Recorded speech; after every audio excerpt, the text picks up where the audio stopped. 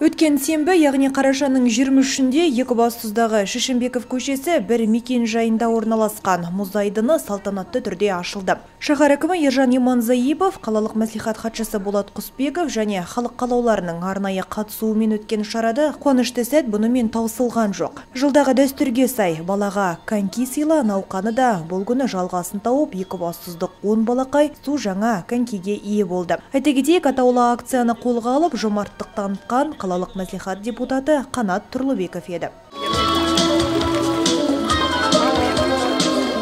Я занимаюсь спортом. Мен осымен үш жыл тайквондоға қатысып жүрмін. 25-ші қазақ қыздар гимназиясында оқимын. Осындай конькиді сыйға тартқандарына қуаныштымын. Енді сабақтан кейін күнде келіп коньки тебетін боламын.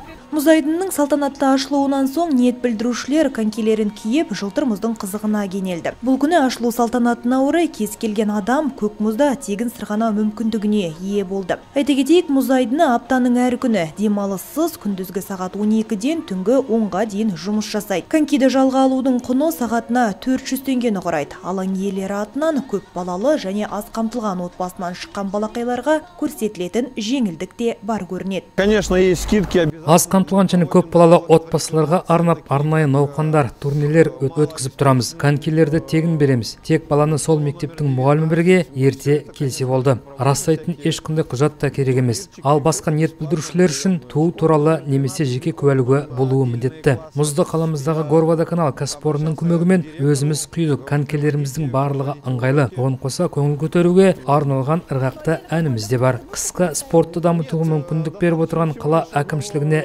ризамыз жерлестер біздің мұз айдынға келіп таза ауада бой сергітіңіздер. Бұндағы жайлылықты алғашқы болып сезінген әуесқойлар ендігі бос уақыттарын осы жерде өткізуге ниетті. Және барлығы да көңілден шығып жатыр дейді. Маған дәл осы жерде коньки тепкен ұнайды. Себебі қашан келсем де адамдар көп болады. Сонысымен қызықты ағаларыммен бірге ілесіп күнде келіп тұратын боламын.